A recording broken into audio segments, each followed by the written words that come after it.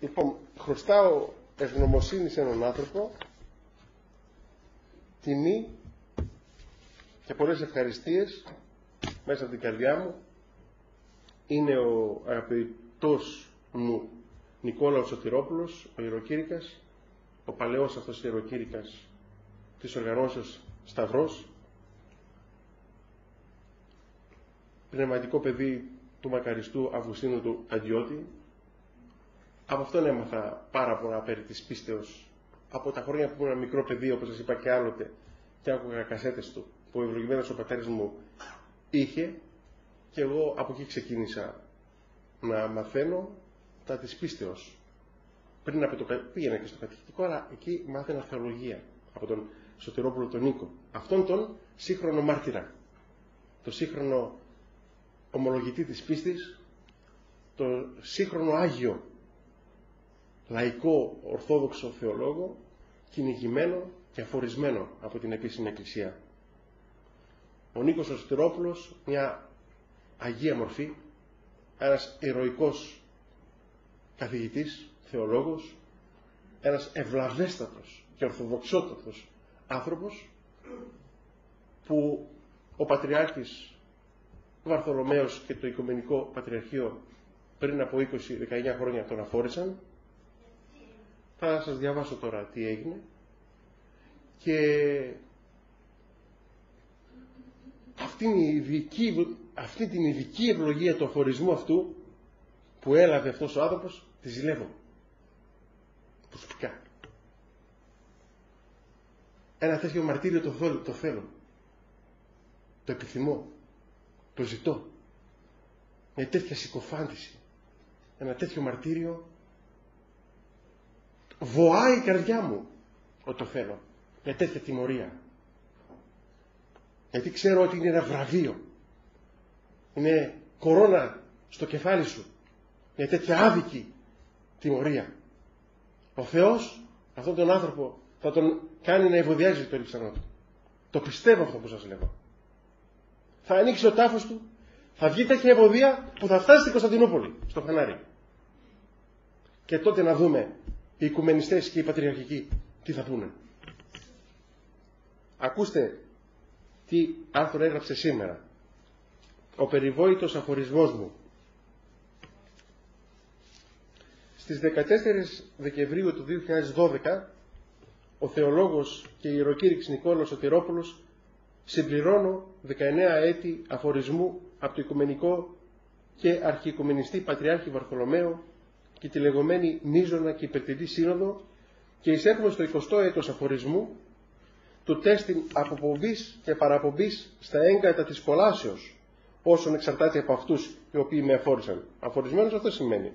Ξεκομμένος και από αυτήν την επίγεια εκκλησία και από την άλλη. Από, από την εκκλησία. Ξεκομμένος. Στην κόλαση. Υπενθυμίζω ότι ο αφορισμός μου έγινε διότι στην Αυστραλία ήλεγξα τον Αρχιεπίσκοπο Αυστραλίας στην Πιανό επειδή τα Χριστούγεννα το 1998 με γραπτό εγκύκλιο κήρυγμα το οποίο διάβασαν οι παπάδες στους ναούς και δημοσίευσε στο περιοδικό της Αρχιεπισκοπής του κήρυξε ότι ο Χριστός ήταν ατελής και αμαρτωλός. σε ραδιοφωνική διαομιλία του είπε ότι ο Χριστός ήταν όπως τον παρουσιάζει ο Καζαζάκης στο βιβλίο του. Ο τελευταίος πειρασμός, δηλαδή ερωμένος της Μαγδαληνής. Κατόπιν δε κήρυξε και ότι ο Χριστός είναι κατώτερος από τον Πατέρα. Η Αγία Γραφή είναι μεγάλο παραμύθι και άλλα. Ελέξαμε δε τις φοβερές αιρέσεις του και προφορικός και γραπτός αλλά αντί να καθαριθεί ο Αρχιεπίσκοπος Αυστραλίας, αφορίστηκε ο Σωτηρόπουλος. Ο Πατριάρχης και τα Επισκοπίδια της λεγόμενης Μίζωνος και Υπερτερού Συνόδου, κανέναν από τους αναριθμήτους ασεβείς το καλεπών καιρό μας δεν τόλμησαν να αφορήσουν.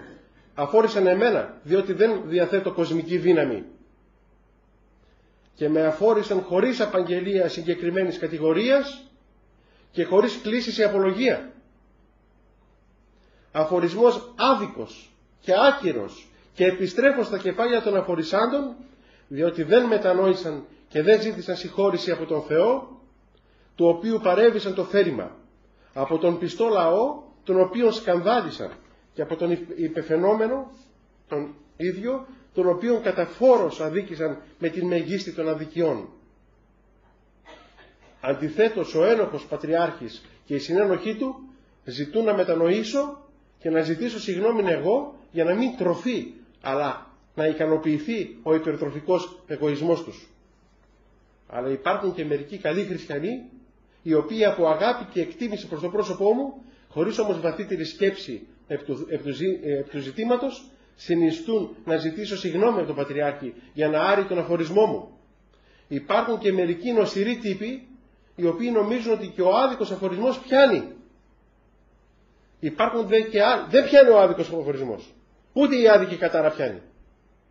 Δεν πιάνει, σε καμία περίπτωση. Άμα είναι έτσι, θα καταργιόμαστε ένας τον άλλον και θα φορίζουμε.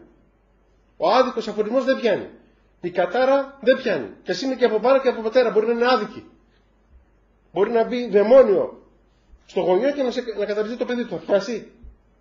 Μπορεί να μπει δαιμόνιο στο, στο πατριάρχη, στο δεσπότη και να καταραστεί. Θα πιάσει και να αφοριστεί. Θα πιάσει, όχι. Να αφορήσει, όχι. Δεν θα πιάσει.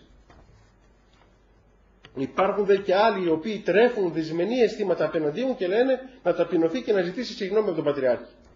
Σε όλους αυτούς εχθρούς και φίλους απαντώ. Τι έπραξα άξιον αφορισμού για να ζητήσω συγγνώμη; Αυτό είναι μια διαχρονική ερώτηση 20 χρόνια την κάνει. Κάθε χρόνο. Στην επέτειο το λέει.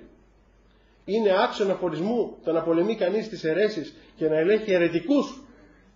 Μάλιστα όταν αυτοί κατέχουν μεγάλα, μεγάλα αξιώματα στην Εκκλησία και αντί να είναι φρουροί της πίστεως γίνονται προδότες της πίστεως και κατασκαδαλίζουν το λαό. Η αίτηση συγγνώμη σε τέτοια περίπτωση θα ισοδυναμούσε με άρνηση του Χριστού. Θα ήταν σαν να έλεγα στον Χριστό «Χριστέ έπραξα κακός που υπεράσπισα το όνομά σου». Δεν αξίζεις υπεράσπιση. Όχι επειδή έχει ανάγκη ο Χριστός της υπερασπίσεως της δικιάς μας, επειδή έχουμε ανάγκη εμείς να ομολογήσουμε την πίστη μας.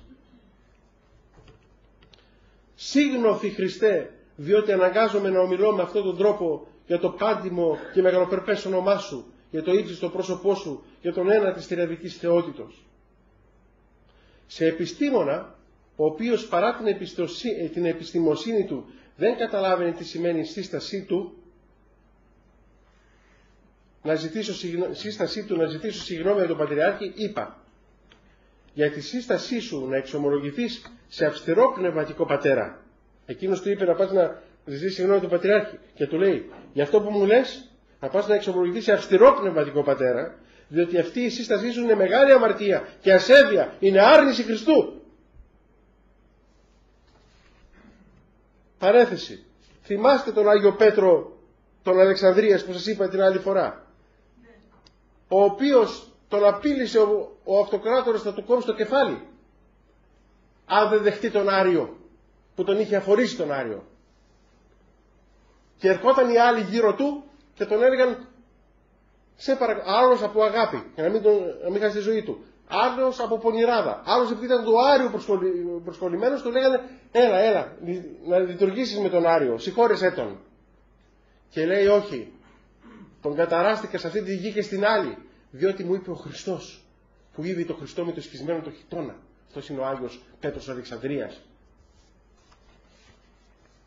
Αγαπητοί εχθροί και φίλοι, δεν με ενδιαφέρει τι φρονεί, τι λέγει και τι ζητεί και συνιστά κανείς εν σχέση προς το περιβόητο αφορισμό μου. Με ενδιαφέρει εκείνο το οποίο λέγει ο αρχηγός της πίστεως, ο Κύριος Ιησούς Χριστός, στο Κατολουκάν 6ο Ευαγγέλιο στίχος 22-23. Μακάρι εστέ όταν μισήσω ημάς οι άνθρωποι και όταν αφορήσω ημάς και ονειδήσωση και εκβάλλωση το όνομα ημών ως πονηρών ένεκα του Ιού του ανθρώπου.